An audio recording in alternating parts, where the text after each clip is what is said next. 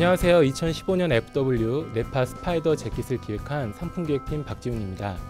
사실 기존의 다운 제품들은 보온성만을 강조해서 굉장히 부피가 크고 활동성이 저하되는 단점이 있었는데요. 이번 시즌 네파가 출시한 스파이더 재킷은 어떻게 하면 이런 부분들을 개선할 수 있을지 많은 연구를 하게 됐습니다. 그래서 개발된 게 제가 지금 입고 있는 이 스파이더 다운 재킷인데요. 소매 쪽에는 스트레치가 굉장히 잘 되고 활동성을 보장할 수 있는 폴리스판의 니트 소재로 제작을 했고요. 또 몸판은 보온성이 굉장히 우수한 헝가리 구스다운을 사용했습니다. 또 대부분 다운 자켓들은 이 퀼팅선에 제한성이 있었는데 저희는 이 퀼팅선을 한층 더 업그레이드해서 보다 더 슬림하고 맵신하는 제품을 제작하게 되었습니다.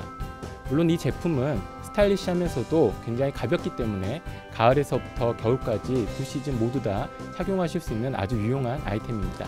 네, 이번 시즌 아웃도어 활동뿐만 아니라 일상생활 또 여가 생활에서도 보온성과 활동성 그리고 스타일리시함까지 추구하신다면 네파의 스파이더 다운 재킷 강력하게 추천해 드립니다.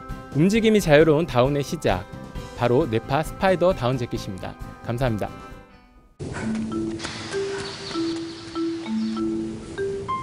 추워졌다. 움직임이 더 좋아졌다. 움직임이 자유로운 다운의 시작. 네파 스파이더 다운. 네파